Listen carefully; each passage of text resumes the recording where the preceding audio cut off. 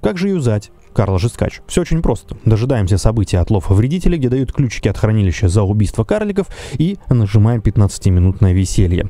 Окей, активировали и погнали. Что мы получаем за эти 15 минут? Залетаем на самый легкий уровень экспедиции. Первый, такой удобной колодой фармим. И, конечно же, мы получаем кучу бонусов. Например, что получил я из того, что нужно? 10 ключей от хранилища только с карликов и 7 с события. 5 ключей ивентов и 112 осколков хаоса. Это то, что было мне нужно, и нужно мне еще пригодились очень даже 3300 очков славы, 20 с половиной тысяч душ и куча-куча всяких разных драгоценных камешков. 15 минут безудержного веселья и хороший, сочный фарм. Карла Жесткач, тема. Ждите события от лов вредителей, запускайте и фармите на экспедициях первого левела.